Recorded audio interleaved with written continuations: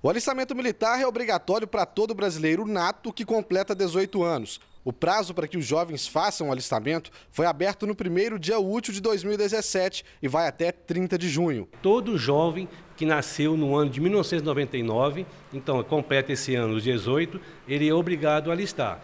E também os jovens que nasceram em classes anteriores que estão em débito com o serviço militar. Para se alistar, é preciso comparecer à junta militar com a certidão de nascimento, comprovante de residência, uma foto 3x4 e se possuir o CPF.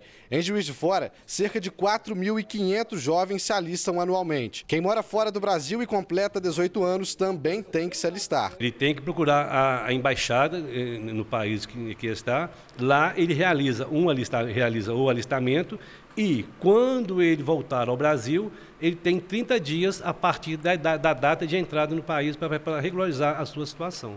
Quem não se alistar estará em débito com o serviço militar e isso pode gerar algumas consequências, como não poder participar de concurso público nem se inscrever em qualquer instituição de ensino, além de não poder tirar a carteira profissional. A novidade para este ano é o alistamento online, que está disponível apenas para quem possui CPF. O site é o www.alistamento.eb.mil.br, ressaltando que é obrigatório ter o CPF para ter acesso ao alistamento online. Quem não tem o CPF, procurar a Junta de Serviço Militar.